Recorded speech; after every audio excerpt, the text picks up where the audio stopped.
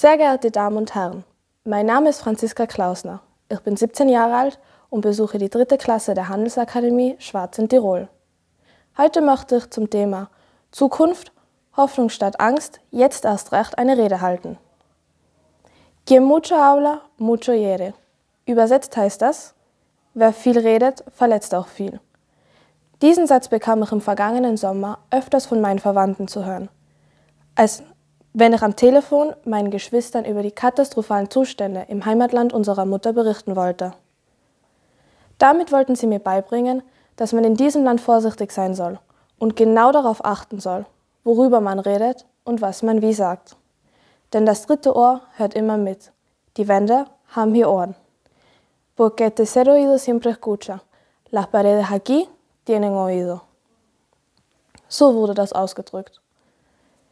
Für mich war diese Erfahrung sehr schmerzhaft, denn ich bin in Österreich, einem freien Land, aufgewachsen und trage mein Herz auf der Zunge, wie man hier so schön sagt. Llevo mi corazón en la manga. Nun war ich wochenlang mit meiner Mutter in diesem Land und durfte mit niemandem offen über die herzzerreißenden Erlebnisse auf der Krankenstation sprechen, wo wir hilflos meiner schwerkranken Großmutter beim Leiden zusehen mussten. Wenn ich meine Wahrnehmungen offen nach außen getragen hätte, wäre das in diesem Land als Provokation empfunden worden und hätte meine Verwandten große Nachteile im täglichen Leben beschert.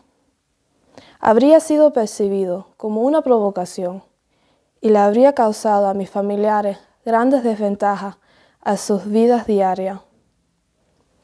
Aber zurück zum Anfang.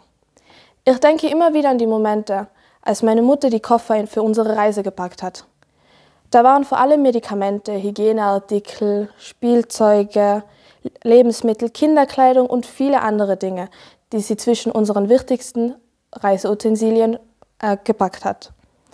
Ich konnte zu diesem Zeitpunkt nicht verstehen, warum man so, so etwas für die feine Reise brauchen würde. Es la necesidad en este país, mi.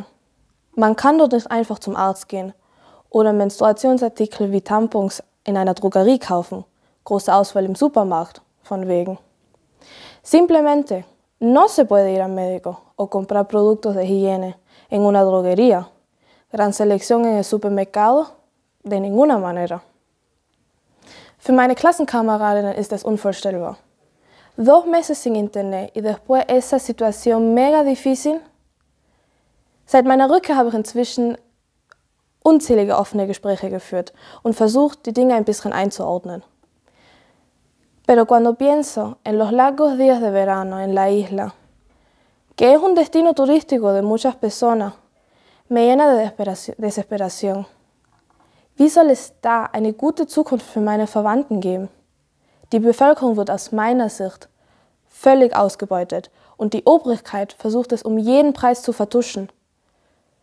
Falls jemand auf die Idee kommt, diese ungeschriebenen Gesetze zu brechen, hat nicht er oder sie mit, mit entscheidenden Konsequenzen zu, äh, zu rechnen, sondern auch Familienangehörigen, Kinder, Eltern oder Großeltern. Si alguien se le ocurre de ignorar esas leyes inescritas, no solo él o ella tienen que contar con consecuencias drásticas, sino también otros de su familia, como sus hijos, abuelos o padres. Sie müssen mit allem rechnen, wie zum Beispiel mit dem Verweigern bestimmter Rechte. Es sind auch schon Leute einfach verschwunden. Oder ihre Angehörigen. Ja, Sie haben richtig gehört. La gente simplemente ha desaparecido o sus familiares. Es spricht für sich, dass ich nicht einmal den Namen dieses Landes aussprechen darf. Und trotzdem gebe ich die Hoffnung nicht auf, dass es einem eines Tages ein freies Leben für die Inselbewohner geben wird. Mi abuela murió en el verano, pero, eh, pero los maravillosos momentos con esa mujer increíble que, se, que es un gran modelo a seguir para mí, también me hicieron fuerte. Ich glaube an eine gute Zukunft. Abuela, gracias por el gran momento y tu carisma positivo. Siempre serás mi hada madrina.